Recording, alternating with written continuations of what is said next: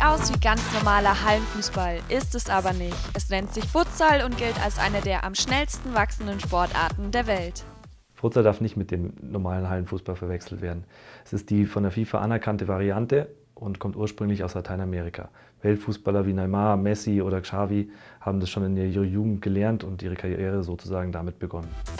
Der Name Futsal leitet sich vom portugiesischen Ausdruck Futebol de Salão ab.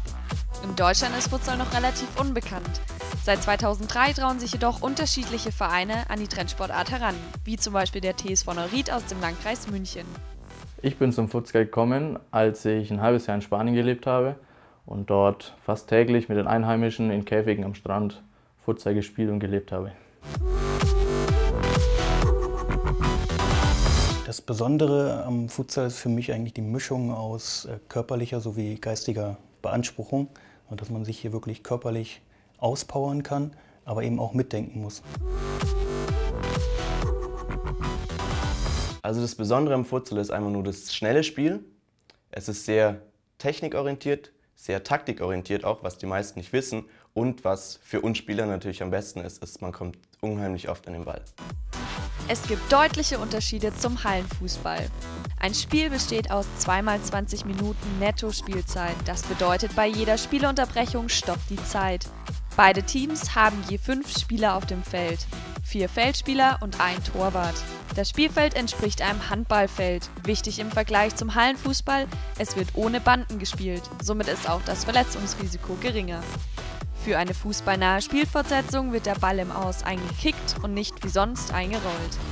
Man wechselt fliegend so oft man möchte, was der Taktik eine besondere Bedeutung zukommen lässt. Als Trainer hat man in meinem Futsal schon deutlich mehr Einflussmöglichkeiten auf das Spielgeschehen.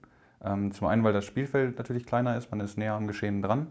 Ähm, zum anderen, weil durch die Spielerwechsel, die häufigen ähm, und die Timeout-Möglichkeiten, man natürlich auch immer wieder die Möglichkeit hat, mit den Spielern in den Dialog zu treten.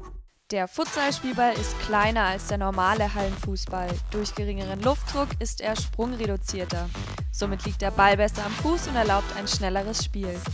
Der Fairplay-Gedanke steht beim Futsal im Vordergrund. Es gibt ein striktes Grätschverbot und Foulspiele werden von den Schiedsrichtern gezählt. Um Zeitspiel zu vermeiden, hilft die 4-Sekunden-Regel. Der Spieler darf den Ball nicht länger als 4 Sekunden bei sich halten. Mittlerweile gibt es über 2000 Futsaler in Deutschland.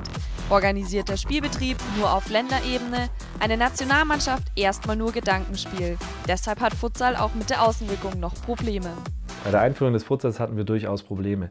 Es ist immer schwierig, was Neues zu schaffen, ohne dass es den Menschen näher gebracht wird. Und der Futsal ist eben noch sehr unbekannt. Im Gegensatz zum Hallenfußball, den jeder äh, schätzt und auch gut findet. Und dementsprechend ist es auch an uns, dass wir den Futsal den Leuten einfach auch näher bringen. Es gibt ja halt auch viele Skeptiker, ähm, gerade auch in Bayern, die dem, die dem Futsal sehr skeptisch gegenüberstehen und es damit begründen, dass es ihnen sehr fremd vorkommt und einfach sehr weit vom Fußball ähm, entfernt sei. Ich sehe eigentlich genau das Gegenteil.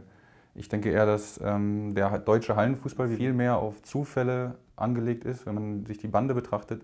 Und welcher Fußballer braucht in seiner Ausbildung ähm, eine Bande? Also die findet er draußen auch nicht vor. Trotzdem blüht der Futsal im Verborgenen. Doch das könnte sich bald ändern, weil mittlerweile immer mehr Clubs die Hallenvariante für sich entdeckt haben. Ich glaube, es wird noch ein langer Weg sein, den Futsal zu etablieren.